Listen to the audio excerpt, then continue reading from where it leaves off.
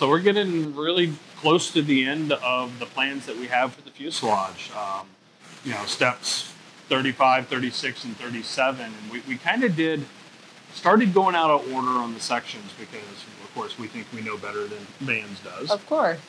But we had a plan.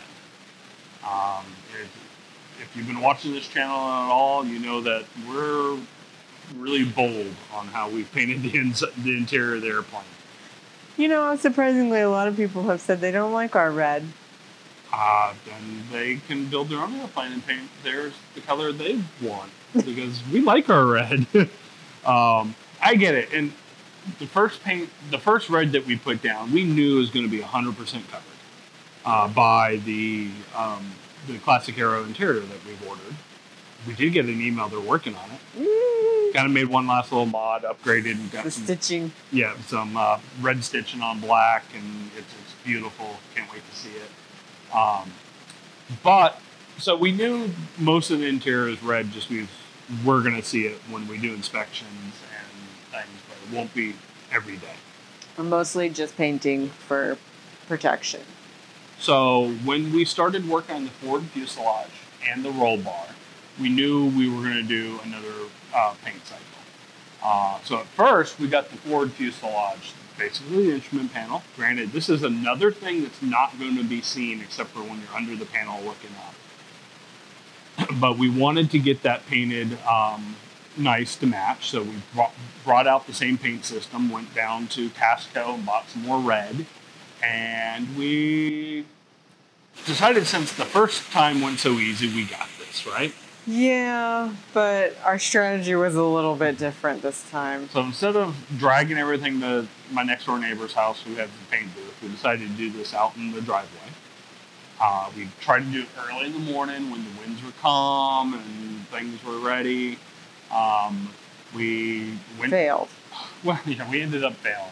We, but we went to work and prepped uh, using similar prep that we did on the first time. Um, you know, a lot of Scotch Brite, um, degreaser, um, and you know, Scotch Brite to sand it down, degreaser to get it nice and clean, uh, and uh, all you have to do is spray. Now, when we put the forward fuselage together, we were really debating the order that we're gonna we wanted to build it up as much as possible, so as many rivets as possible would get painted. So we definitely skipped around in the sections, and we put the the the forward instrument panel together much more where the instructions tell you to start building it in place and start riveting it to the airframe. We wanted it more together. Um, I think it's going to work. Um, it's definitely um, going to be a challenge uh, when we do the final assembly. But we do not want to rivet the forward fuselage to the fuselage until the very last minute. Um, I know we're not going to get all the avionics in there and then rivet it because you're not going to reach everything. But I really want the avionics here to test fit and to play that Jenga puzzle to decide when is the right time to rivet that forward fuselage together. Um, so it was the side rails and the forward fuselage that we were going to paint. We hadn't even thought about the roll bar at that point. We go outside, get everything prepped, lay it outside, and start spraying. What ended up happening? Well, the winds picked up, for one. Yep. Two, I must have forgotten every little bit that I learned about how to use a paint gun and how to set it up right because it just wasn't getting the spray pattern. It wasn't I wanted. spraying right. So it was really beady and um, orange peely and just kind of flat out bad. Bad. we even got halfway through it and I was just, I was like, I, I, I, you could just see it in his face. There was you. We, we just major defeat. yeah, major defeat. I honestly, I was like, building's not for us. Let's Throw the pieces away. throw, throw the airplane away. I, I, I was, I was hating life that day. It was a bad day. But we ended up trying to finish the paint job. And my reward for sticking through painting was the wind picked up. And took some of the plastic that we had on the table, flipped it on top of uh, one of the side rails that was freshly painted. So it wasn't even the paint job was not even It salvageable. No, there was there was nothing we could do. To, it- everything had to be redone So we just kind of set it aside. Um, the for a while. the forward fuselage, the, the instrument panel, it's good enough. It's going to be covered. It's going to be covered, but it, if you like, I'm standing eight feet away from it right now, looking at it. Looks great. Um, it's one of those where because we assembled so much, the spray gun won't hit every nook and cranny in the back. So there's definitely flanges that have um, the the base primer uh, bleeding through, but that's okay. It's like I said, you're not going to see it. It's going to be covered up. Uh, but what were we going to do with the side side rails? Because we knew that the side rails will be visible in our uh, build. Yeah, we knew we had to redo those. So we just set them aside. Then we went to work on the roll bar. Started assembling that, and we made the decision that we were going to paint the side rails and the roll bar with the help of our friend down at Lockhart Airport, who is a, an amazing painter. Uh, lots of experience in uh, automotive, uh, collision repair, and uh, painting there, uh, and a lot of experience painting airplanes. Um, he's not a doesn't have a business painting airplanes, but he's paints, painted several airplanes before. And in our local area, if you need something painted right, you go see Al. So we went to go see Al. I messaged him and I was like, "Help, please! what do we do?" Al's been a good friend for several years, and he hadn't come out to see the build yet. So he first came out here and looked at our uh, paint job, and he's like, "Yeah, you done done screwed up. That doesn't look good." So he introduced us to Paint Stripper. Talk about a gnarly little nasty substance. Yes. Went to AutoZone, and I mean, it's called, uh, it's by Rust-Oleum, it's called Aircraft Stripper. That stuff, it does what it says. So we um, went through um, Al's um, instructions, and uh, you get a disposable paintbrush. Uh, actually, use a decent quality paintbrush, but you're not using it ever again when you're done. Um, and we, uh, you paint this paint stripper onto the part, and then wrap it in a. We use a trash bag. But wrap it in some plastic because you want those fumes to stay in there. You don't want it to all off gas. Let it sit for about 15, 20 minutes. Take it out, and then you can scrape that. It just peels right off. Ugh, it's nasty. It, um, and we we at home did about two rounds of it Yeah. to, to get it. And I, I thought I was like, I'm good. I got this stripped, and I knew there were some edges that would probably sand down or whatever. And I took it, and uh, turns out I've talked to some of my friends who've done projects with Al too. Um, Al's a perfectionist. He is he's got an eye for this that none of us do. He took one look at us. Yeah, we're gonna keep stripping. So he breaks his it stripper out and uh, really got it clean. Then we went through this multi-step process where we um, took 400 grit sandpaper, sanded it down nice and smooth. Then we took some cleaner that he had and really cleaned the aluminum to be bare, you know, bare, um, you know, uh, the bare aluminum, make it nice and clean. You know, we had gloves on so our oils weren't getting on it. Really cleaned it up so we got um, all those pieces ready to go. Then the pieces that we had primed with the Rust-Oleum self-etching primer, um, we sat there with 400 grit sandpaper and just sanding it down. And at one point, he had to go step away for a few minutes and finish sanding the roll bar. I'm like, okay, I'm going to do it just perfect, just perfect. I'm, I'm, I'm going to make Al proud. He's going to be super proud of me. Get it nice and sanded. I'm like, okay, this is beautiful. He comes back and looks at. Keep Not going. even close. No, he said, just give it to me. oh, I, he has this eye, and it's funny because after he did it, I'm like, it, it was clear as day to me. It was like I, I see what he was seeing. Um, but you know, my mind, paint covers everything. If you do a bad job, just paint it. You you won't see it. And Al really showed me it's like that's not how that works. Paint actually doesn't cover anything. If you have a small blemish, like a small little bump in there that's not smooth, that small little bump, you're gonna see you're gonna see that through the paint. Yeah. So it's like you really have to have a very smooth, clean surface before you start painting. Makes sense, but you know, here I was thinking paint fixes everything. Now we go back and look at the first paint job we did, and I was like, I, I, I now see why it's not as smooth as what we ended up doing. So it was several hours of prep. Um, I know you you didn't sleep well the night before, so you went to the FBO and took a nice nap while we did all the prep work. Sorry. It's okay. It's, yeah, you're doing the hard work here. You know, you're you're 39 weeks into uh, uh, expanding our workforce. We, uh, I it's no brand. Trust me, you didn't want to be around for that prep work. It wasn't wasn't the fun part, but it was necessary. Um, and then, of course, he's got a nice paint set up in his uh, uh, hangar there. So then it finally got time to do the painting. And the other big trick that he had is he hangs out everything from like um, wire, whether it's safety wire or like clothes hangers, but you hang it so you have better access to it versus trying to do it on a table. That was a game changer. It's like 360 access. Yes, it was, uh, and then not only do you hang it, but then you tie a piece of safety wire to the bottom of it so you can hold it as you paint. Um, it was, you know, it's the the key to doing a good job with anything is knowing all the tricks and just having that skill to do it. You learned a few tricks that day. That I did. So he um, he did most of the painting for us because uh, he used our paint gun. So it was it was a good paint gun. Uh, granted, he's got the super fancy professional guns. Uh, ours is the best gun you can get at Harbor Freight. Does the job. He said it was it was a good gun. It's like the where your gun's gonna fail is after you use it for the six thousandth time.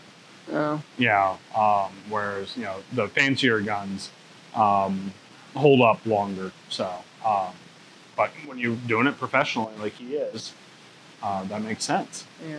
So we got it painted, but he he he left one part for me to paint, and I was still kind of like scared to like have one of our parts look different than the other. But he he guided me through it. We got it got it painted. He did the second coat on it. It was like the right tempo, the right angle. Yeah. It's it's uh I would love to sit here on this channel and tell you everything how to be an expert painter. It's never gonna happen. Uh, you need to go find someone like Al. Find someone who's done this for years. They just know tips and tricks and uh, have that technique that you're not going to get anywhere else. So, but we got we got it all painted. It looks beautiful. Um, it's we want it again. Our strategy has been build as much of it as we can, set as many rivets as we can, so they get painted. Um, now we still have some unpainted rivets after we put it together. And we have the little touch up kit. We do have the little touch-up kit. I'm like still a I'm little, hesitant to use it though. still a little scared to use it because it's like, it, it, is it going to stand out like a sore thumb or is it going to look good? I don't know. But you got to sand it down to like Al standard. You got to sand the rivets The down. rivets? the paint won't stick. It won't look as good unless they're really taken down. So it's uh, it's not it's not like you just take it and go bop and it's done. If you do that, that's what it's going to look like. It's going to look like you went bopping. We need to. paint the rivets before we put them in then. We can try that. How does this work? I don't know, but then Oh. then if you bucket, it's yeah. And some a lot of them are pull rivets. I don't know how that would work. So we may just have some non-painted rivets. Um, it still looks good. I think so. Uh, but man, does that look amazing! It's just it's like the the smoothness to it, the glossiness to it, the uh, and these are things that will be visible in our build. You will see this red when we are flying. Uh, this is not Underneath the canopy. underneath the canopy and the side rails. It's gonna. It's, it, it was really important to get done right. So uh, it was well worth the uh, afternoon going down there and um, um, and taking care of Al for his time. We really appreciate that. So, how about building that roll bar? How was that? It wasn't that bad. It was kind of an interesting thing where you you assemble half the roll bar, put some doublers on. Oh, where is that second doubler? Oh, yeah. I don't know if we lost it or if it just never came, but we checked it off in the inventory. So there's a doubler that's on um, go- one goes on the front of the roll bar, one goes on the back. We pulled one out, prepped it, primed it like we normally do. And then realized that we should have had two. Yeah, the second one came and it's like, crap, we don't have another one. So my instinct was go to Van's store, find one, and order it. Um, Mine was not because I didn't want to wait around to get it apart. So I suggested fabrication. So we actually fabricated that second doubler. We it was pretty simple. It's a squ- square re- rectangle with 16 or so holes, uh, maybe 21 holes. Um, so we were able. We had scrap aluminum that we've that ordered. the exact width. Yep, the exact thickness. Uh, I forgot what size it was, but we um, made sure it was the, the made made out of the same material. It was scrap aluminum that we ordered from Van, so we know it's aircraft grade and the right stuff. It's uh, I mean, it's the same roll that uh, that original one was probably made out of. Uh, we did not laser cut them, did we? No. we, we used the drill press. Um, so then it was just trace it, trace it, do a rough cut, and then use the 3M wheel to um, fine tune it, and it's made it exactly the same. Pop it on the drill press, put match drill all the holes, and um, I even wrote the part number on there for you. oh, sweet. You put a little sticker and some blue on it. Yeah. Um, but yeah, so we fabricated our own doubler. I, it it's simple. Uh, we're here making a big deal out of we cut a rectangle and put some holes in it, but you know it's, it's our first full fabrication of uh, A missing piece. a missing piece. I guess we did some fabrication for the modified uh, flat motor that we did. Okay. So so it's not our first fabrication, but um, yeah, sure. You know, a couple hour, about an hour uh, versus uh, ordering it and waiting for it to show up. About a week. Yeah. So then we get the roll bar all together, and then the first time it's like, okay, you- you slide it on top of the uh, the bases for the roll bar. That was really, I don't know if we were just putting it in crooked or things were misaligned, but It did It not. was a pain. It, uh, we're, we're, down to putting Boelube on it, uh, putting our fingers in there. To, there's um, the the doubler that's in there that holds the two sides together, trying to push those aside to get it on. It was really tough to get it to seat on. So we even ended up taking a 3M wheel and a um, angle grind, or a, you know, I guess angle grinder um, air tool, and we chamfered the edges of the base to give it just a little bit of a rounded edge. so it could slide on just a tad. Yep. And then with some Boelube, we were able to get it on both sides. Um, of course, we did some searching on YouTube for other builders to see did they struggle with it. And there was a reference to yeah, it was a pain, but watching the YouTube video, it kind of slid right on. Yeah. It wasn't as much of a pain as we were having. We probably spent hours and hours trying to get that on there. So once we chamfered those edges and kind of filed down the, uh, you know, just filed it down to make it so there's, you know, we're talking millimeters if that. Very, very minimal. Um, we got it on, and then it was like, well, after it's painted, this is going to be even worse.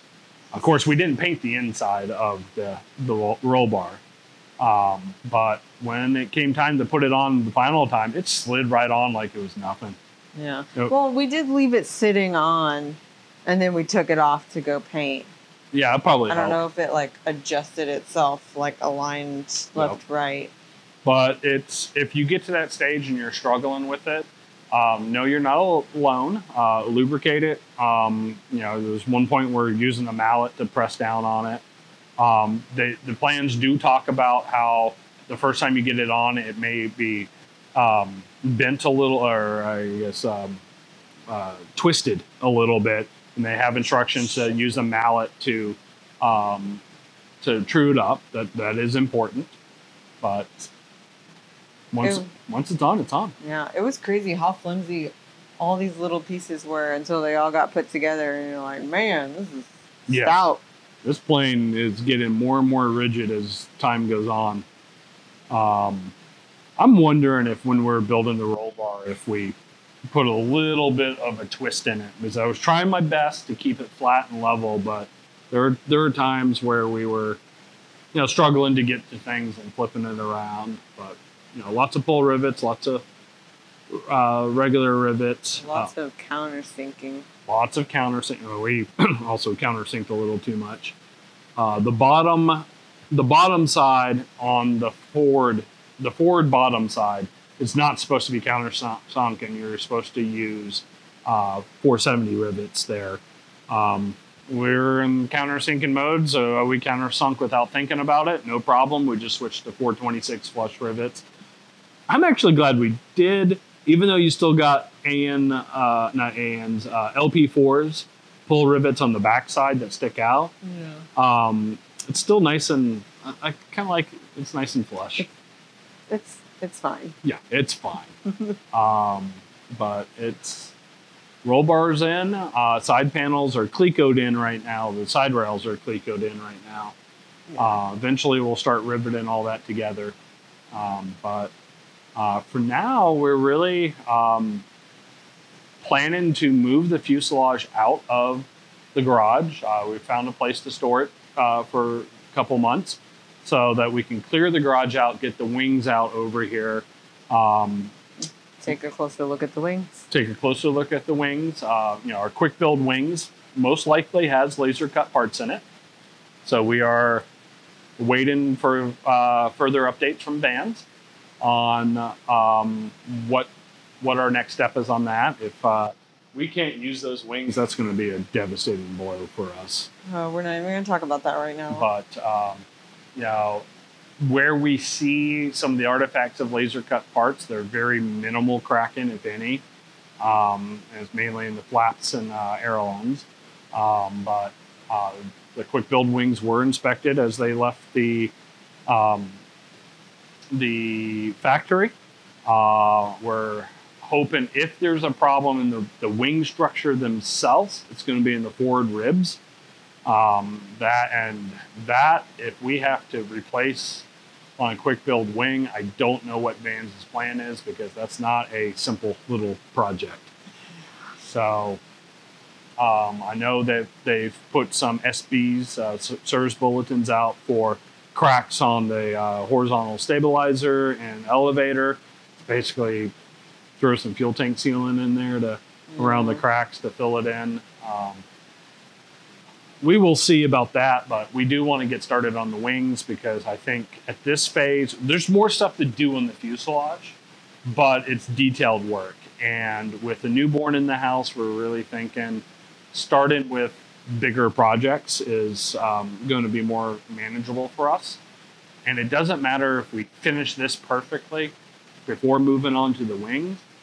Building a step is building a step. That's one more step closer to us flying this airplane. It doesn't matter necessarily what order we do it in. So Yeah. Main goal is just forward progress right now. make progress on whatever you can. So that is our current update on where we're at with uh, roll bars, forward fuselage, uh, paint fiascos, and success stories. Um, you know, if you need help painting, feel free to reach out to us, and we'll tell you the wrong way to do it. Um, but find find someone better than us to find out the right way. I wish wish it's something that if I had more time, I would like to become good at painting. I don't see that happen. That's not some. When do you come up with all this time? I don't. That's why it's not going to happen. so, well, thank you for watching us on 14 Victor Echo. We'll see you next time.